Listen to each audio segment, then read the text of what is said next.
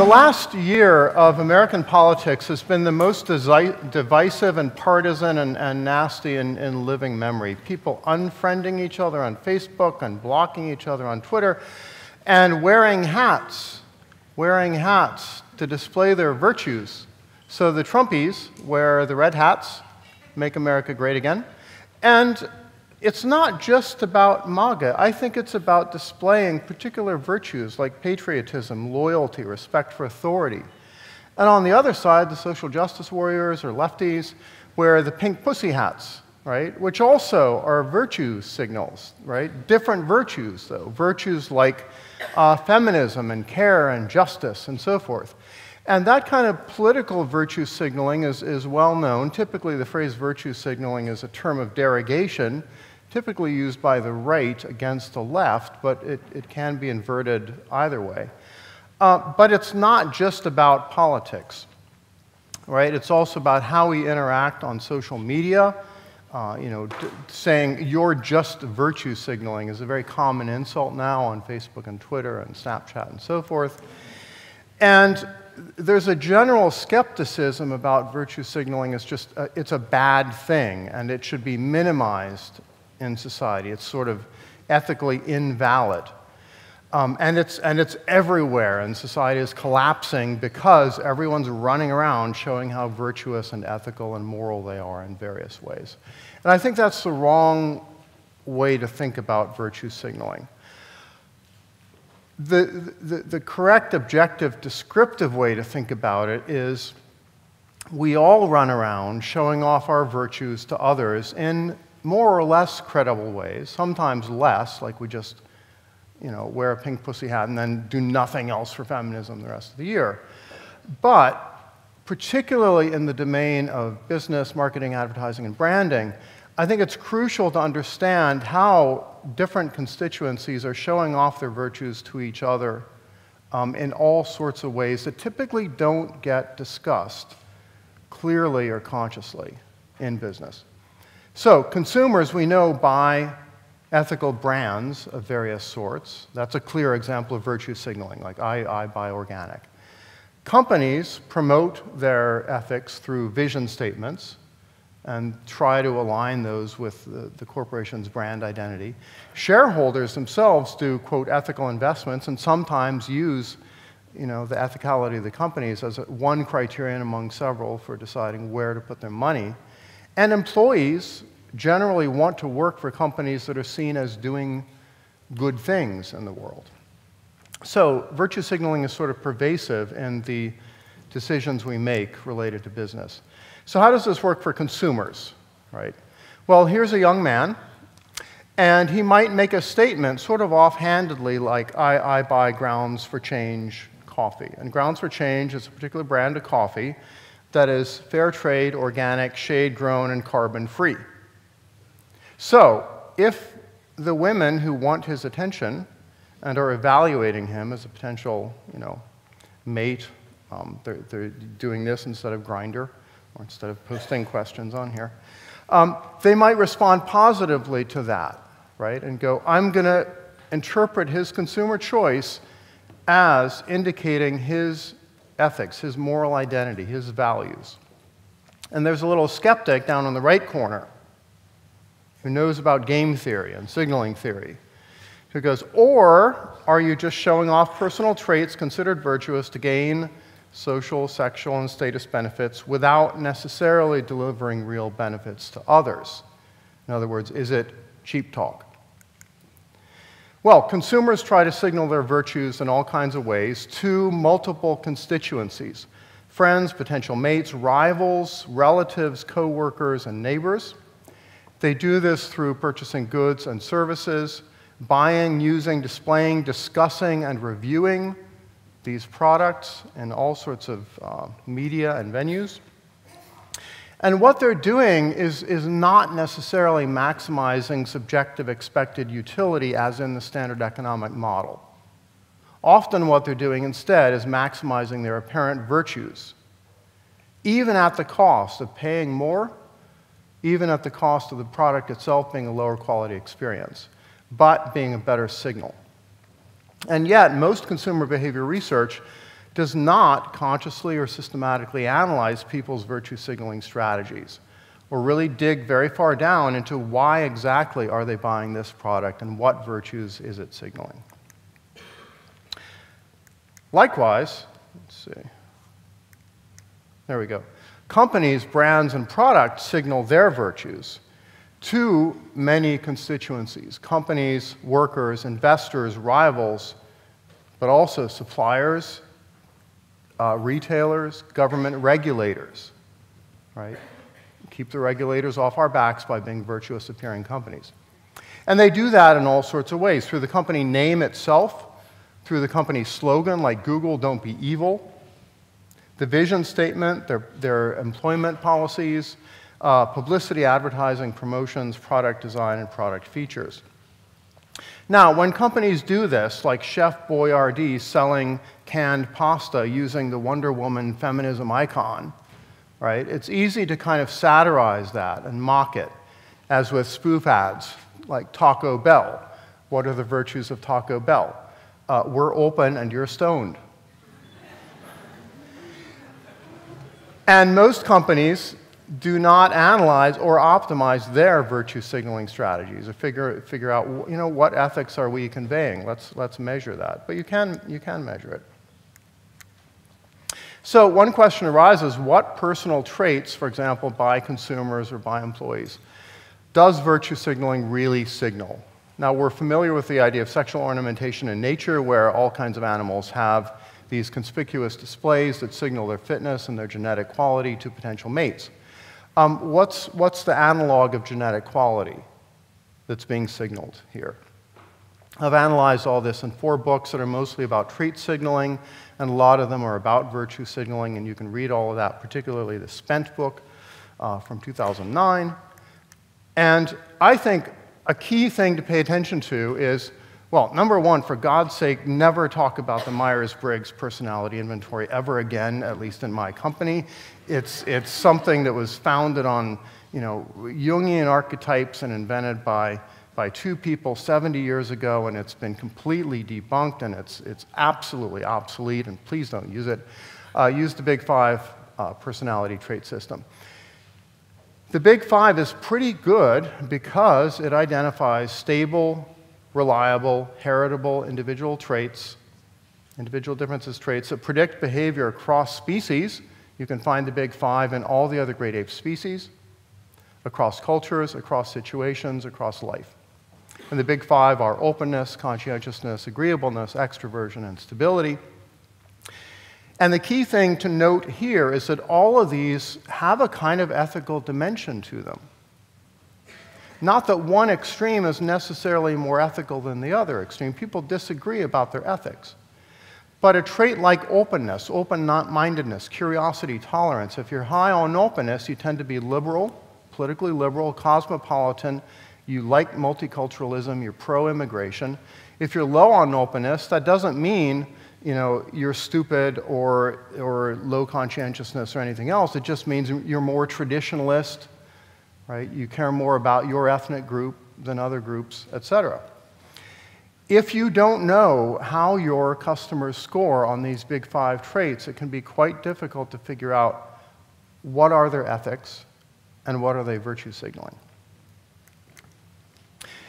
How does this play out? Let's take a couple examples. That openness trait that I mentioned, low openness, again, conservative, in group loyalty is a value. Uh, they like nationalism. They tend to be a little bit more pro censorship in terms of anti porn, but um, more free speech in terms of things like academic free speech on campus. Uh, they tend to support vanilla monogamy, boring, and they tend to be high in sexual and moral disgust. So, how do you reach those people? What kinds of companies tend to make a kind of low openness pitch? Well, the Christian companies in America, right? Hobby Lobby and Chick fil A, the things that are boycotted by the social justice warriors, they're actually quite comfortable having a low openness identity. And they knew that if they caved to the protesters, they would lose a lot of their, their core customers who would go, You're just selling out our, our, our values. And they made the right call, I think, in resisting those, those boycott uh, demands. For some reason, Coca Cola seems to be a lower openness brand than Pepsi, for weird historical contingency reasons. Uh, Mary Kay Cosmetics tends to be a low openness, more conservative, traditionalist brand. On the other hand, the high openness brands, Apple's $100 billion of brand equity is basically because Apple is an openness signal.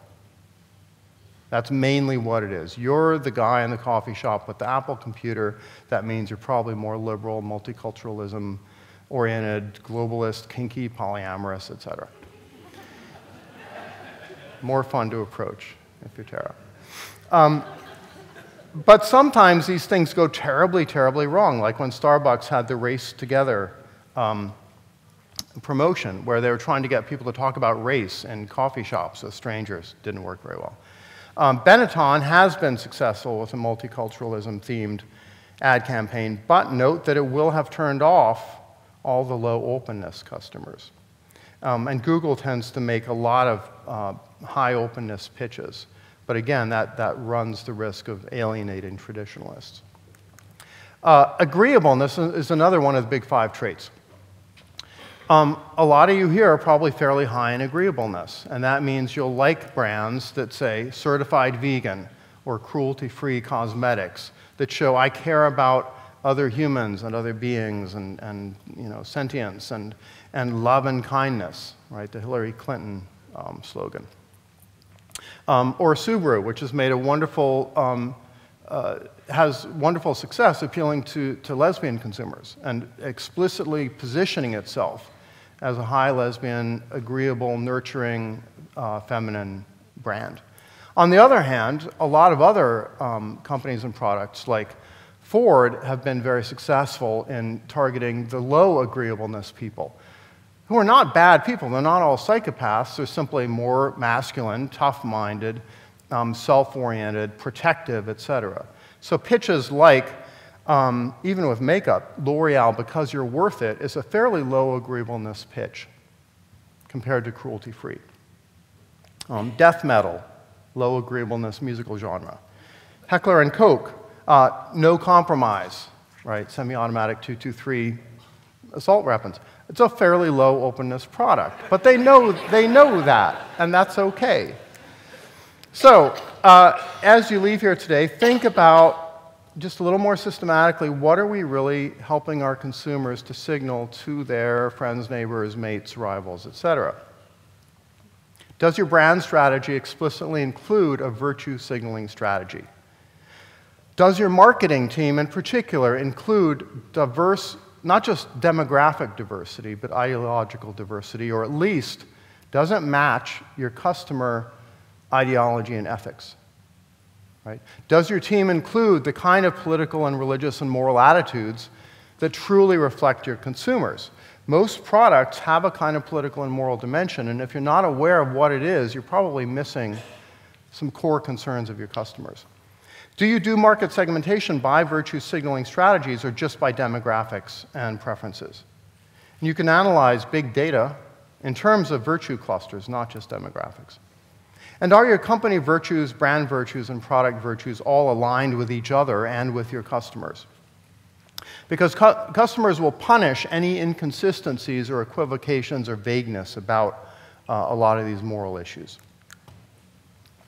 So, uh, to wrap things up, I think we can take these, these virtue signaling instincts that run very deeply in human nature to do well and do good at the same time um, virtue signaling has been a taboo topic until fairly recently because it's, it's seen as sort of beneath contempt for people to use products to show off their moral values. But that's what consumers do all the time, that's what companies do all the time. So, virtue signaling runs deep in biology. Um, I'm going to get the music in a minute. Come on, music. Okay. One more minute. One more minute. Uh, we can ignore it or fight it, you know, tell customers you shouldn't virtue signal. Right? You should just maximize expected subjective utility. Um, or we can use it to actually you know, make more money and deliver more value to consumers in the form of products that they can use to signal their virtues to the people they want to signal their virtues to. And the better we, we understand virtue signaling, the better we can design, market, and build communities around our products, truly ethical communities, right, that punish cheap talk and that actually reward genuine altruism. So, the ideal situation would be, you know, in five or 10 years, we'd have customers, not just political analysts, tuned into virtue signaling. And customers might actually say things like, Hi, person I met on Grindr, um, or Tinder, if she's not gay, sorry. Um, I harness my virtue signaling instincts to make consumer purchases that maximize my subjective well being while minimizing avoidable suffering for all sentient beings on the planet. And then, hopefully, the response would be let's make babies.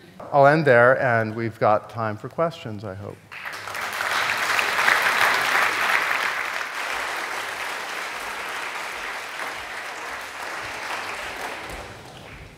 I think one of the things you've remarked elsewhere is that one of the issues you have is that people in advertising and marketing uh, tend to be extremely high in openness uh, with respect to the rest of the population. Is that a fair? Yeah, I've done some trainings with, with market researchers in which I actually administer the Big Five personality trait scales to them, and they all score extremely high on openness, and they're all politically liberal, and they don't represent the, the, the big five traits or the values of their customers. I think, I think there's another thing which interests me, which is that, I mean, for instance, I, I remember you on Facebook, a, a Super Bowl ad came out for Coke, which had America the Beautiful being sung by a whole mixture of ethnic groups. I don't think most people would bother by that, but in their own languages. And you said Madison Avenue has lost the plot. And sure enough, the response to that was practically insane because people said, look, you know, I don't, I don't mind this, but sing in English. If you're going to come to America, you sing in English. Yeah. And so that business, there is a danger, I think, with virtue signaling. It's not so much that it's bad in itself, but it mm-hmm. leads to a kind of Fisherian runaway where if everybody around you signals virtue quite a lot, in order to signal it, you have to adopt an even more extreme position than the group. And therefore, it leads to a complete sort of polarization. Yeah, and this can be terrible because if you're in a marketing group and everybody's sort of liberal, right? But you push each other in this runaway liberalization process. Like, I'm even more multicultural, or I'm even more anti, you know, May than you are, more anti Brexit. You can get even farther and farther away from your customer base. And if you don't include people in your team who can challenge that, it, it can be absolutely ruinous for your relationship to your customers. And you can make terrible terrible errors in terms of you know, creating whole ad campaigns that you think are obviously great. Like, obviously, celebrating multiculturalism is wonderful. But there are a lot of people out there who loathe multiculturalism. And you're going to alienate them all. Maybe you want to do that, maybe you don't. But if you're not aware of that, it, it, it can be catastrophic. A very good question actually from Brian Miller here. Do opposites ever attract? E.g., I am low conscientiousness, but I don't want a bank or airline that is. I mean, I know we had a nice discussion with Unilever once, which is that actually the brands like Simple tend to be bought by high intelligence people, and the brands that signal high levels of scientific complexity weirdly tend to be bought by the opposite. That actually what you're doing is, is actually counter, in a sense, uh, compensating for your own weakness. So, of course, you all want the company you buy products from itself to actually be high conscientiousness and high agreeableness and highly open to innovation as a company. But the products you buy from them, you don't necessarily want their ad campaign to, to associate the product with, let's say, high conscientiousness because the opposite of high conscientiousness is low conscientiousness, but that also means impulsive and youthful and fun loving and, and playful, right? And a lot of products benefit from being advertised that way. For example, anything where you want to make an appeal to kids or teens or, or the youth market. So you've got to separate the, the sort of personality attributes of the company from those we want associated with the product. And then the big five, I think it's fair to say that um, Cambridge Analytica, who work with Trump, their targeting, which is something that started in Cambridge, their whole way, form of segmentation is based on the big five. That's right. And so they'll essentially, uh, you know, th those are the five dimensions they see as being kind of orthogonal and universal. Yeah, a lot of market research companies are, are using the big five. And the, you know, the advantage of that is you've got 30 years of serious psychological research with thousands of papers studying you know, the heritability and stability and, and predictive power of those traits. If you invent your own personality system as a company, that's fine, but it'll take 30 years to get to the point that the big five is at today. A lovely question. Have you any examples of counter virtue signaling as a backlash? And I can think of a fantastic thing if you go on YouTube and look for uh, rolling coal. Has anybody heard of this? You basically pimp up your Ford F350 pickup truck, and if there's a Prius behind you, you flick a switch on the dashboard, which causes the vehicle to produce huge amounts of black smoke. Um, so, so, I mean, it's fair to say that, I mean, quite a lot of Trump, quite a lot of Trump behavior, and indeed some of his failings probably appealed as counter virtue signaling, yeah. Yeah, absolutely. If, if, if you see one group of people who are virtue signaling and taking themselves terribly, terribly seriously, and think that they're, you know, the virtues being signaled are beyond dispute, it's very easy for a sort of counter virtue or counter dominant strategy to come in and, and to create an ad campaign that appeals to the people who think that group is so unbearably puritanical and self righteous that this is the fun, you know, um, rebellious brand that, that, that doesn't take itself so seriously. So, lovely example of the States. I, I quite like right wing bumper stickers as a riposte. So, one thing, if you're a Brit, the idea of putting a sticker on your car saying how well your child is doing at school yeah. is complete anathema. We just wouldn't do that. But in the US, you say, My child is an honours student at so and so, so and so. I always thought it was a bit of a smug thing to do. Yeah. And I've been driving around seeing a load of these stickers, and finally I saw a pickup truck which just said, My Marine can pick off your honours student at 250 yards, which I thought was quite a, quite a good response. But so, um, the, I mean, the only th- would you like to comment just one final thing on the effect this is having in American universities, where essentially because they're so one sided, yeah. that you, you've had a kind of situation, I know with Nicholas Christakis, for example, yeah. at Yale, which is just bonkers. Yeah. I'm quite involved in the academic free speech movement, and American universities are a good case of uh, kind of runaway virtue signaling by the left, largely, because 90% of academic professors are on the left politically.